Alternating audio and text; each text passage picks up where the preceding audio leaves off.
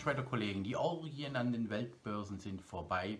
Die Droge Geld wirkt aktuell nicht mehr und der DAX macht das, was wir hier als Investoren schon seit längerer Zeit gesehen, gespürt haben.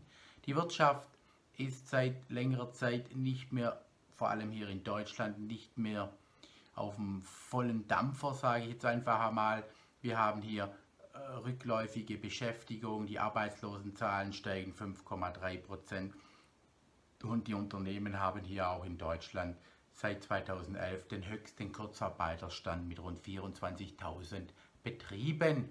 Wir schauen uns in diesem Video an den DAX. Die 15.000 habe ich noch nicht gestrichen, nur der Zeitkorridor ist jetzt doch eine andere Annahme, einen anderen Weg, den der DAX einschlagen könnte. Bis in April 21 nach hinten raus, also von 12,20 auf April 21.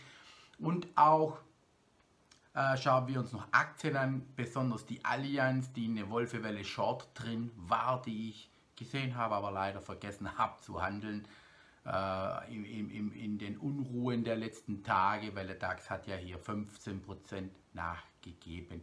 Also, die Aktien schauen wir uns an, den DAX bis gleich. So, wir gehen hier jetzt in die Charttechnik hinein, vom DAX speziell. Äh, und hier geht es darum, sich die Frage zu stellen, wo und wann haben wir unser Tief. Wenn wir uns das Jahr 2018 anschauen, sehen wir, dass das doch auch noch eine Etage tiefer gehen kann, bis in den Bereich von 10.566. Es kann leichte Korrektur nach oben geben und der Markt kann hier dann weiter nach unten durchlaufen, was durchaus möglich und auch durchaus wahrscheinlich ist. Andererseits suche ich als Charttechniker ja immer Punkte, an denen eventuell eine Stabilisierung stattfinden könnte oder ein Umkehrsignal. Wir haben hier jetzt den Bereich eines 61er Fibonacci. Der rührt daher von diesem Tief vom 19.12.2018. Das ganze Jahr über ist ja der Markt gestiegen bis in das Hoch. Jetzt im Februar 2020 kommt das Korrekturlevel aus dieser Gesamtbewegung auf das 61er Fibonacci. Und das liegt hier im Xetra eine Kerze ein Tag bei 11.635 und dieser Bereich und ganz speziell jetzt auch dieser Bereich, wenn man hier auf die linke Seite des Charts schaut, das Tief vom August 2017, vom März, zwei, ja, vom März 2017 und dieser Bereich könnte auch hier dieses Jahr oder jetzt im Moment eine Unterstützung werden. Ich für meinen Teil warte hier auf Tagesbasis, bis ich ein ganz klares Signal kriege. Auch wenn der Markt jetzt hier nach oben den Anschein macht, dass er mir vielleicht davonläuft, werde ich ihm zuschauen und erst einmal auf mein Umkehr Das bedeutet für mich, dass ich mindestens nur einen Tag steigen warten muss, einen Tag Korrektur und dann ab heute am Mittwoch vielleicht erst hier ein Einstiegsszenario frühestens im DAX auf Tagesbasis bekomme. Was natürlich intraday passiert, ist eine ganz andere Geschichte auf unteren Zeitebenen, aber das will ich hier jetzt so in diesem Chart nicht bearbeiten. So, wie komme ich auf die 15.000, dass die für mich gesetzt sind? Nach wie vor, für mich war immer nur die Frage, welcher Weg nimmt der DAX? Geht er hier direkt weiter, leichte Korrekturen steigt, allen Anschein mit diesem Ausbruch hier oben äh, hat er diesen Gedanken weiter genährt, dass er hier bis 20 äh, bis zum 12.20, also Dezember 2020 dieses Jahres äh, hier oben ankommen könnte. Letztendlich hat er sich jetzt doch entschieden, als, als Umweg hier neue Tiefs auszuarbeiten und dieser Bereich hier, die 11.635 und noch ein bisschen tiefer würde ich ihm noch geben, die 11.430. Dieser Bereich, den werde ich hier jetzt mit einer Ellipse äh, markieren. Ich kann es auch ein bisschen so rüberziehen. Der wird wichtig. Der wird deshalb wichtig, weil aus einer A, B, C Dekonstruktion hier noch der Zielbereich von 15.000 möglich ist. Je tiefer dieser DAX jetzt hier läuft, umso weiter werden diese 15.000 entfernt und dann werde ich auch meine Jahresprognose umschreiben müssen. Die war ja bisher, dass wir diesen Bereich bis Ende Jahr 15.000 erreichen können. Sehr wahrscheinlich aus meiner Sichtweise. Sie ist immer noch sehr wahrscheinlich, aber hier ist einfach jetzt die Schlüsselstelle, um dieses äh, Long-Szenario für, diese, äh, für das Jahr 2020 aufrecht erhalten zu können oder zumindest einmal diesen Zielbereich von 15.000. Wir haben hier ja auch dieses Szenario dieser inversen Schulterkopf-Schulterformation. Äh, ich zeichne es euch nochmal schnell rein hier. Vom Tief zur Nackenlinie abprojizieren. Hier der Ausbruch und auch hier kommen wir in den Bereich bei einer 100% Ausdehnung in den Genuss der 15.000 Punkte.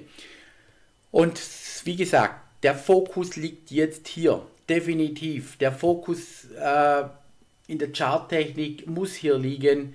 Und je tiefer der Markt hier jetzt fällt, umso unwahrscheinlicher werden diese Ziele auf der Oberseite bis Ende Jahr oder zumindest mal bis in Mai 2021. Wir sind hier, was die inverse Schulter-Kopf-Schulter-Formation angeht, in der verflixten 4. Und diese verflixte 4 ist nicht äh, eindämmbar oder nicht einfangbar, nenne ich es mal so. Die, ich habe es euch im letzten Video erzählt, die Longhändler, die hier alle long gegangen sind und hier in der Party dabei waren, in dieser Orgie, die wollen hier raus. Und jetzt müsst ihr auf Folgendes aufpassen. Der Markt, der kann jetzt wohl nach oben durchgehen, aber das kann sein, dass der eine oder andere aus dieser Long-Orgie, der vielleicht sogar hier im Minus ist, dieses, diesen Anstieg nutzt, um seine Long-Positionen wieder massiv zu verkaufen, was natürlich wieder eine Bewegung zur Unterseite hin äh, befeuern würde. Und dann kommen wieder die anderen dazu, wo, wo sich da oben dann wieder, ich sage mal, ich sage es jetzt mal auf Schwäbisch, die sagen, Mensch, scheiße, warum bin ich denn da oben nicht raus? Die springen dann hier wieder raus und könnten dann den Markt weiter nach unten treiben. Also hier ist charttechnisch noch nichts passiert, lediglich äh, wir haben hier ein großes Korrektur, ein sehr schnelles Korrekturlevel. Wir sind noch nicht unter die 12.276 gefallen. Deshalb ist aus dieser Beschauung hier tief, höheres Hoch, höheres Tief, höheres Hoch. Wir hier im Korrekturlevel aus der Gesamtbewegung das Potenzial zur Oberseite hin nach wie vor 15.000 gegeben. So, das ist das ganz große Bild. Hätte ich jetzt auch im Wochenchart zeigen können. Und den machen wir jetzt doch einmal schnell auf den Wochenchart. So, der Wochenchart, da sind auch diese Marken drin, bisschen tiefer. Augenblick, die habe ich noch nicht angepasst. So, jetzt sind sie angepasst. Also hier liegen wir bei dem Bereich bei 11.644 auf Wochenbasis. Also hier diese sehr schöne lange rote Kerze die auch genau jetzt momentan ihren Schlusskurs auf der MA 200 hatte. So, das gilt zu beobachten und da besteht dann immer noch die Möglichkeit hier diesen Jahres, äh, wo bin ich jetzt wieder reingerutscht? Augenblick. So diesen Jahresfahrplan hier zur Oberseite hin noch so abzulaufen. Letztendlich natürlich jetzt mit einem anderen Weg. So, wir gehen hier jetzt rein in die üblichen Verdächtigen und da bin ich ein bisschen überrascht über die Bewegung von Gold. Gold ist hier um von 100, 1644 Dollar bis auf 1562 Dollar im Tief aus dem Nichts gefallen. Was war hier der Auslöser? Ich weiß es nicht, warum, wieso, weshalb, aber das könnte hier schon einmal ein Fingerzeig sein, dass wir hier eventuell in den Börsen, in den Indizes ein Tief gesehen haben. Fallender Goldpreis, auch in dieser Form, in dieser Stärke, ist positiv zu deuten für den DAX. Wir haben auch das Währungspaar Euro-US-Dollar, das jetzt nach wie vor weiterhin massiv gestiegen ist, aber in einen Widerstandsbereich im Bereich von 1,105. So, hier gilt es zu beobachten, ob wir in der kommenden Woche hier weiter steigen oder nach unten abdrehen. Sollte das der Fall sein, wäre hier gepaart mit dem Gold 2 zu 0 für die Bullen. Das WTI-Öl hat hier auf diesem Unterstützungsbereich aufgeschlagen bei 43,72. Das ist das ehemalige 61er Fibonacci aus dieser Gesamtbewegung. Also vielleicht bauen wir hier sogar im WTI-Öl auf diesem Unterstützungsbereich einen Doppelboden aus und sollte das WTI-Öl steigen. Ich sehe diese Bewegung als negativ, dann muss ich ja wohl logischerweise den Anstieg des WTI-Öls als positiv deuten in der Jetztbeschauung. Normalerweise ist ein ansteigendes WTI-Öl kontraproduktiv für den DAX, aber hier in dieser Situation behaupte ich ganz fest, da ist ein strukturelles Problem, industriell keine Nachfrage und deshalb, wenn der Ölpreis steigen würde, wäre Nachfrage von der Industrie. Was jetzt im ersten Moment noch wieder positiv wäre, würde der Ölpreis natürlich wieder von der Liefen gehen. Auf der Oberseite wäre es dann wieder negativ zu deuten. Dort gibt es einfach solche Schaltstellen, wo man dann na, das Ding einfach ein bisschen anders deuten muss, wie man es äh, klassisch deutet. So, und hier kommen wir zum VDAX New. Leute, den Institutionellen geht der Arsch auf Grundeis. Also dieser Indikator spricht eigentlich ganz klar dafür. Er ist jetzt am Hoch. Wenn wir hier mal rüberschauen auf die linke Seite des Charts. Äh, wir waren 2016 auf diesem Level, 2018 auf diesem Level und 2015 auf diesem Level. Nach diesem 2015er Level hat der Markt hier noch, schauen wir mal, 21.8. bis zum 25.9. einen Monat gebraucht, aus, wo aus dem Doppelboden nach oben gestiegen ist, aber nicht mehr in die alten Gefilde. Schauen wir mal hier hin, was da passiert ist.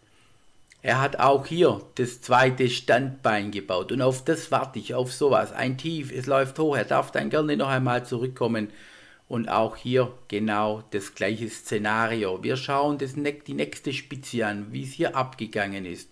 Hier hat er ein Tief gemacht und in der darauffolgenden Bewegungen, Zeitspanne einen Monat später noch einmal ein Tief und noch einmal knapp einen Monat später noch einmal ein neues Tief ausgearbeitet. Also wir sehen, dreimal hatten wir, nehmen wir mal noch dieses Szenario, da ist er auch ziemlich hoch. Äh, wir hier am äh, Februar 2016 ein Tief, ein Hochlauf und dann dieser Rücklauf. So, deshalb, es kann gut sein, dass wir hier das Tief jetzt gewunden haben im DAX, dass wir hier eine Bewegung nach oben sehen, aber ihr habt gerade gesehen, eine V-Erholung, dass der hier jetzt strong long wieder die 2000 Punkte rausnimmt aus dem Markt zur Oberseite, ist recht unwahrscheinlich aus meiner Sichtweise, meiner Perspektive. Deshalb warten, ob er hier das zweite Standbein baut. Und wie gesagt, ich brauche hier mindestens drei Tage, weil hier ist das Tief, die 1. Da kommt jetzt vielleicht den zweiten Tag hoch und am dritten Tag, also quasi der Montag wäre der zweite Tag, Dienstag der dritte Tag. Also könnte ich allerfrühestens ab Mittwoch hier meine Long-Aktivitäten starten. Wenn er natürlich sowas macht wie hier, das dauert dann auch wieder August 19 bis ja, das hat äh, 14 a 10 Tage gedauert bei dieser bisschen höheren Spitze. Sucht euch einfach solche Referenzvergleichsbereiche, auch hier ein bisschen höhere Spitze und überall macht er diesen Rücksetzer noch, wo man dann getrost einsteigen kann. Wisst ihr, jetzt meiner Meinung nach hier einzusteigen oder schon am Freitag einzusteigen zu gewesen. Also ich habe ja ganz klar gesagt, Freitag ist für mich jetzt nicht der Tag, wo ich einsteige übers Wochenende, weil dort wird uns die eine oder andere Hiobs-Botschaft noch einholen und wenn wir Pech haben, dann kommt der DAX hier ohne Wenn und Aber vielleicht irgendwo bei 11.100 in den Markt rein am Montag. Wer weiß, wir wissen es nicht. Deshalb lieber immer dann handeln, wenn man hier dann auch äh, reaktionsfähig ist. Also hier wäre dann prädestiniert eher der Montag, Dienstag, Mittwoch, weil dann hat man immer noch eine ganze Woche Zeit, um hier zu reagieren oder dagegen zu steuern. So meine Ansicht. Freitag ist immer ein sehr schlechter Tag, weil da sitzt du dann drin und siehst die Wochenendindizes, wie sie dann doch noch letztendlich tiefer oder höher steigen, je nachdem. Also, da habe ich euch das jetzt erklärt, wie ich die Sache sehe. Wir haben hier wirklich die, die kacken voll ab. Die Institutionellen, die haben wahrscheinlich schon eine braune Bremsspur in der Hose drin, weil sie äh, laut Statistik, was ich gelesen habe, sie teilweise die ganz großen nur 4% Cash Also sind sie voll investiert und haben eigentlich jetzt in dieser tiefen Marktlage gar keine Kohle, um hier nachzufassen. Das ist, äh, sehe ich als Problem. Dann muss man immer noch aufpassen, die Longhändler, die hier diese Party mitgemacht haben und diese Party hier mitgemacht haben, die könnten in so einem kleinen Rücklauf ihre Position alle über Bord werfen, um dann zu sagen, Mensch, Gott sei Dank, wir sind hier rausgekommen aus diesem Markt. Das sind jetzt nur Vermutungen, hat jetzt aber auch nichts mit der Charttechnik zu tun. Also dieser Indikator spricht für nochmals sehr hohe Volatilitäten mal gleich zu Beginn der Woche und normalerweise für tiefere Kurse. Aber die anderen drei Indikatoren, wenn man sie denn deutet und sie ungefähr in die Richtung gehen, wo man sie jetzt einschätzt, sind positiv für den DAX und deshalb steht es hier aus diesem Blickwinkel 3 zu 1 für die Bullen. So, und dann, jetzt habe ich was, ja okay, da sind wir ja, jetzt gehen wir hier rein, noch einmal eine Stunde, eine Kerze in den Xetra. Auch hier haben wir diesen Bereich, diese 11.000, hier ist ein bisschen 11.544. Der würde hier dann auch mit diesem Bereich dann passen in etwa. Da noch ein Rücksetzer, eine Unterstützung, eine Umkehrsignal warten auf unteren Zeitebenen. Aktuell haben wir hier im Xetra eine 1, eine 2, hier die 3 und da hätte man hier mit Börsenschluss 17 Uhr Kerze hier noch long einsteigen können, was ich ja nicht mache. Wenn wir hier jetzt aber reingehen in die Lang- und Schwarzindikation, die bis nachts um 22 Uhr läuft, haben wir hier eigentlich schon fast einen Doppelboden, eine 1, eine 2, hier eine 3. Da, also es ist hier momentan eher momentan eine Seitwärtsbewegung und ich, ich warte. Was ganz klar war, nach diesem Bruch zur Unterseite hin, wird es schmutzig. Es wurde hier richtig schmutzig und dieser Bereich 11.644, also 11.640 bis 11.650. In dieser Volatilität muss ich aber auch ganz klar eingestehen, 50 Punkte rum oder num spielen hier momentan keine Rolle. Der Markt wird hier sein Tief eventuell austesten. Die nächste wichtigste Schaltstelle liegt hier bei 11.264. Von der gehe ich jetzt zum jetzigen Moment nicht aus, was die Indikatorenlage hergibt. So, wir gehen hier jetzt noch schnell anderswo rein in den ähm, Kupfer, schauen wir uns an. Das Kupfer, ja, nichts groß passiert diese Woche mehr was viel Bewegung war in den Währungspaaren, der US-Dollar, japanische Yen, ist durch diese Unterstützung regelrecht nach unten durchgerauscht. Es war zu keinem Zeitpunkt ein Long Trade äh, möglich, wo man hier dann hätte falsch einsteigen können. Das hier war die Unterseite des Unterstützungs, aber wir haben hier eine ganz klare Abwärtsbewegung.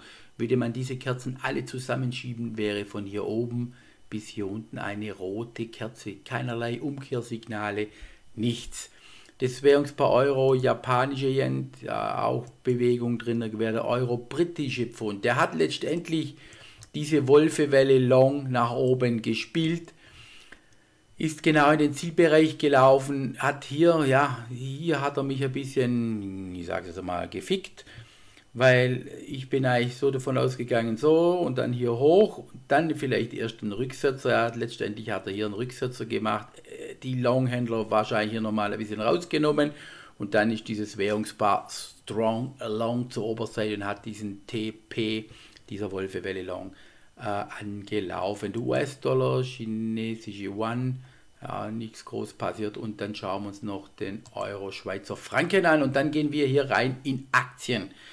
So, auch hier war sehr viel Volatilität drin in einer Kerze.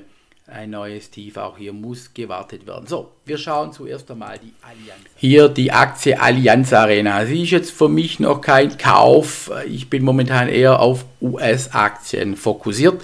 So, die Allianz Arena hat hier eine, nicht die Allianz Arena, die Allianz SE, die Versicherung, hat hier eine wunderschöne Wolfewelle abgearbeitet. In erster Linie haben wir hier eine inverse Schulter-Kopf-Schulter-Formation. Linke Schulter, Kopf, rechte Schulter, hier die Nackenlinie.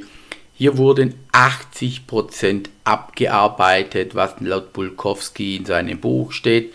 Könnt ihr selber nachlesen. Äh, sehr oft werden aber auch 100% abgearbeitet. Und in diesem Ausbruch dieser inversen Schulterkopf-Schulterformation zur Oberseite hin hat sich dann eine Wolfewelle Short ausgebildet, die ich noch gesehen habe. Ich habe leider keinen Alarm gesetzt. Die wäre wunderschön gelaufen und wir haben hier die 1, ein markantes Hoch, ein markantes Tief, die 3, hier die 4, die 5 und dann ist sie wirklich strong, short nach unten durchgerauscht, ist jetzt auf einem Unterstützungsbereich bei rund 194 Euro. Ja, ich sehe in Kauf. Also momentan ist es so, Allianz, wenn ein Versicherer, dann nur Allianz, weil sie ein Drittversicherer ist teilweise und hier von der gesamten Situation äh, profitiert. Ich überlege es mir mal, ich muss mir die Dividendenrendite noch anschauen, ob sie in mein äh, Universum passt. So, hier kommen wir zur Unilever. Bei der Unilever, dort kamen ja hier Quartalszahlen, die waren ja nicht sehr gut, dadurch ist die Aktie dann eingebrochen. Dann ist sie wieder massiv gestiegen, wenn man das so bezeichnen darf. Ich habe mich geärgert, weil ich sie dann hier doch nicht gekauft hatte. Letztendlich bekomme ich hier jetzt noch eine bessere Chance. Sie ist von der Dividendenrendite nicht unbedingt sehr attraktiv. Ich habe hier mal noch einen Kursalarm gesetzt bei 45. Also die Unilever wäre auch ein Kandidat in ein Langfristdepot für Dividendenstrategie. Und ja, ich beobachte sie und werde mir, ich denke, dieses Mal nicht den Fehler machen, zu lange zu warten, um hier dann nicht dabei zu sein. Wir liegen hier, ich, bei knapp 3, nochmal was 4% Dividendenrendite. Also Unilever. Hier kommen wir zur Aktie 3M, ein Unternehmen, Industriekonglomerat von den USA. Also hier sehr viele Produkte, vor allem momentan die Mundschutzmasken werden auch von diesem Unternehmen unter anderem produziert. Die war ja hier drin in einer Wolfewelle Short, hat hier jetzt auch dann die Wolfewelle Short ab gearbeitet zur Unterseite. Was hier aber ganz auffällig ist an der 3M, äh, in dieser Marktphase, wo der Dow Jones, der DAX, der SP massiv gefallen sind, ist äh, 3M nicht mehr weiter gefallen. Also hier ist alles schon reingepreist.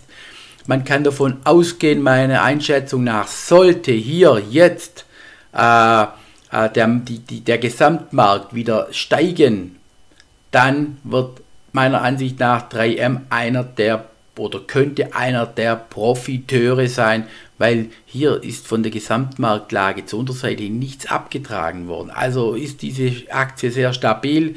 Da sind keine mehr da, die verkaufen, eventuell sich eher auf die Lauer legen, um sie zu kaufen. Und wenn man hier so eine Trendlinie zieht, sind wir hier auch noch unten.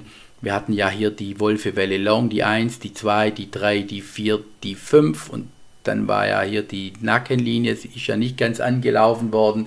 Und hier heißt es jetzt zu warten. Das könnte hier dann eventuell die linke Schulter werden. Hier der Kopf nochmal hoch und dann vielleicht aus der rechten Schulter heraus dann diese Aktie zu handeln. Nächste Aktie ist die Johnson Johnson. Die Johnson Johnson ist auch massiv abgebrochen zur Unterseite hin wie die Gesamtmärkte. Dieses Mal aber nicht, weil Asbest im Babypuder drin war, sondern weil es einfach äh, die Märkte hergegeben haben. Johnson Johnson für mich auch einer derjenigen, in die man einsteigen könnte hier in diesem Bereich bei rund 130.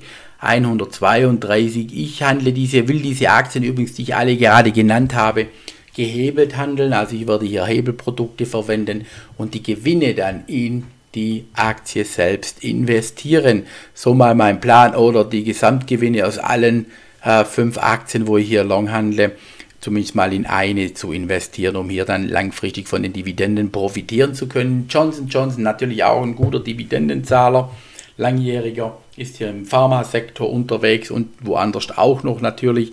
Also hier guter Unterstützungsbereich. Hier 1130 Euro. Und jetzt kommen wir dann zu der letzten Aktie. Das wäre die Royal Dutch Shell, ein Tankstellenbetreiber, ein Öl-Multi. Shell-Tankstellen zum Beispiel gehören hier dazu, ist hier auf die 1992 gefallen oder steht hier aktuell unter des 61er Fibonacci bei 22,16.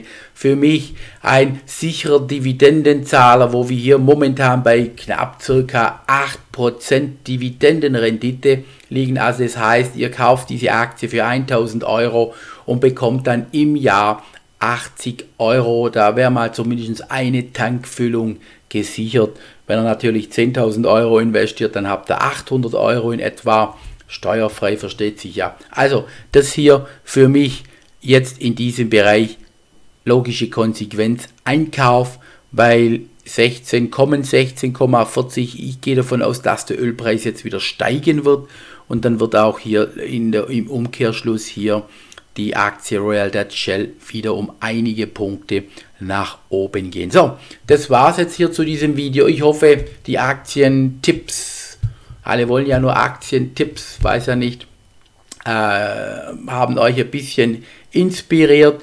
Sie sollen ja nur eine Inspiration sein. Man soll hier gewisse Dinge ja nicht nachhandeln. Ansonsten, wie gesagt, bei mir im Depot, da hat es richtig gerumpelt. Da war jeden Tag rot wie fühle ich mich dabei? Hm.